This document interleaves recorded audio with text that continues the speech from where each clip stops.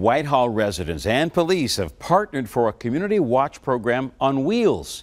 Crime Tracker 10's Jeff Hogan went on patrol with these mobile volunteers.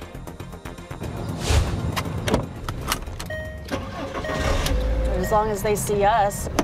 Gaining visibility in Whitehall, Janice Ritchie and Tracy Highs are part of that city's mobile community watch. We stop and talk to people that don't know about us. If they wave us down, we tell them about us. The Mobile Watch is a police backed program gaining ground after a year on the streets. Armed only with a radio and some basic training, they're another set of eyes for law enforcement. We'll listen to calls, and if there was a robbery or something, they're looking for suspects.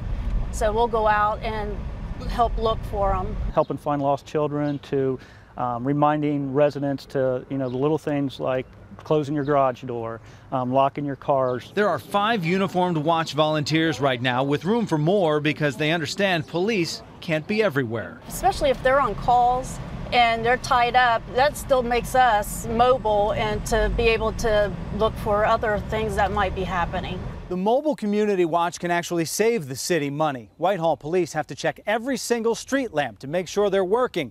That takes a lot of man hours. So while the volunteers are out, if they see one that doesn't work, they tag it so the power company can come fix it. Whether driving the marked vehicle or on foot patrol, it's residents protecting residents. A proactive approach to fighting crime in their neighborhood. Help preventing crime definitely is uh, our goal, and I think we are accomplishing it. In Whitehall, Jeff Hogan for Crime Tracker 10.